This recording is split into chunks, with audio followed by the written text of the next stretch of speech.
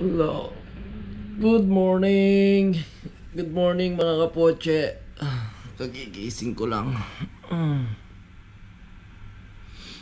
Day off tayo ngayon. At uh, magpapabaksin kami ng anti-flu ngayon. Ah, parang winter ano. ah, winter. Ano ba yun? Basta. ano ah, para sa ano para sa flu yun. Para hindi ka ano dapuan ng ganun. Kasi ah, dito ngayon taglamig na. Start na ng taglamig. So sabi nga nila 'di ba prevention is better than cure. So magpa-vaccine kami ron para alam nyo na hindi tayo dapuan ng sakit. Mahirap na ngayon taglamig 'di ba? Mahirap pa magkasakit ngayon. Sa panahon ngayon lalo na sa mga OFW na tulad natin, di ba? Ampo na natin talagang katawan. Pag nagkasakit ka, di ba? Sad reality. Lalo na yun sa mga ano, ah, tawag dito, yung walang katuwang. Mga kung ikaw lang mag-isa ka lang talaga, di ba? Magkasakit ka, sa ayaw mo sa hindi, pasok ka, hindi mo kaya, di ba? Walang mag-aalaga sa'yo. So, yun. Ah, alas 10 pa naman mga kapoche yung ano, yung schedule namin. So, anong oras na ba? Maaga pa naman. So, 8 pa lang ata. Ang alas 8 pa lang. Ayun. Medyo maliwanag na. Ay, ano, eto. Bubuksan natin yung telon natin. Ay, telon ako dyan eh. Ayan, oh. Ay, pababa pala to. yan. Inihila ko lang yan para ano, mabuksan. Oh, ayan, di ba? Liwanag na. Ayan. Medyo madumi pa yung ano ko, yung bintana ko. Kasi alikabok yan. Opo, yan. Ang buong ano. Yeah. Yan ang view ko tuwing umaga. ang dumi. Ayan na, may mga etchas-etchas pa kasi dyan. Mga sa ano, dumi ng kalapate. Hindi ko na ano yan. Nalilinis pa yan. Buong wait. So, yun. Baba muna natin. Umaya na. Ano yung ganyan? Ah, ako yung magkakape lang muna ako. At gagayak na kami. Mga kasamahan ko rin. eh. Sa ano ang vaccination namin? Ah, doon sa Pahil.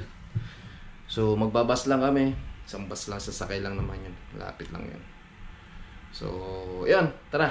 Samahan nyo kami.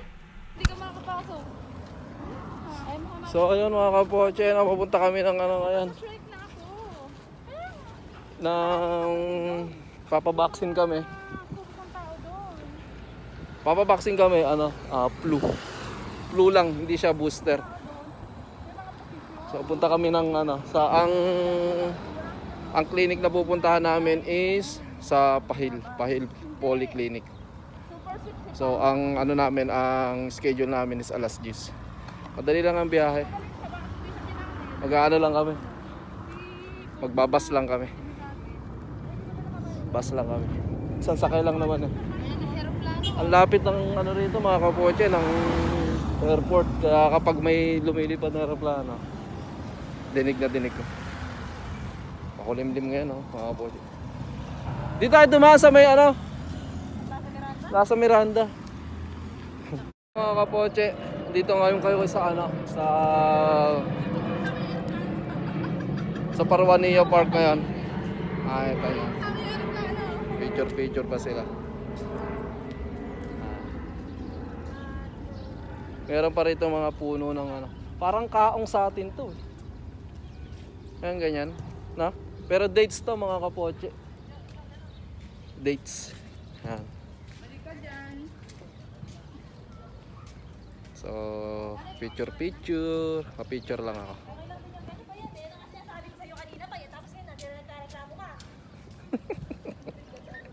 Yan. Meron pang wishing. Meron pang wishing well dito ay. Baka naman mag-wish pa kayo. Ah, may wishing well pa kami oh. Kaya lang, Nakaready na nga ako eh. Na kaya lang walang ano.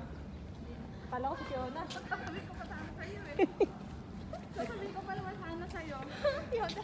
Ayun naman si Edjo, magla-live na naman. Hindi. Ah. lapit lang. Ayun lang sa kaya namin dito. Sa ano lang.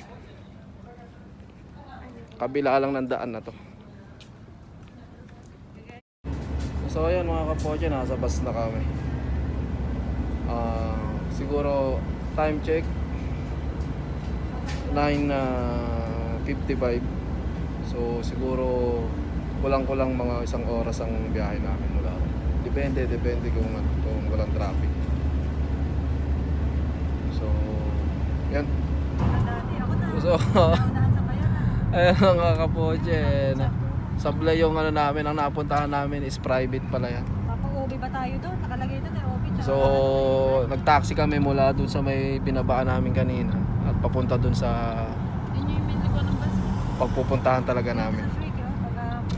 So, mali kasi kami ng ano eh, ng niya. Yung sinerge namin is private pala yan. Asa, ginagawa so, taxi yan. papunta dun. A few moments later. So, ayun mga kapoche, okay na, tapos na. Ang dali lang naman yan eh. Nabaksin na na kami. Ngayon, wala pang limang minuto, wala pang ano. Pauwi na kami. Pauwi na kami.